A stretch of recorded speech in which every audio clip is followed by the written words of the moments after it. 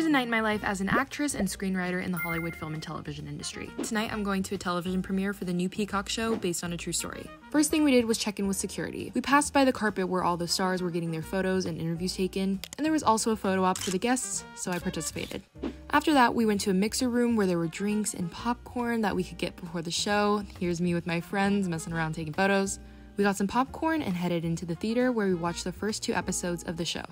After that, there was an after party at the Chateau Marmont. The hotel was decorated beautifully in all of the colors of the show. There was a DJ. There were so many industry professionals there. So I was networking. I met some people who worked on the show, producers, even this woman who worked at Shondaland, like crazy. It was a good night, but by the end of it, my nail fell off and my feet hurt. My feet are hurting so badly. This is how I was walking by the end of the night. Follow me for more behind the scenes of the film industry.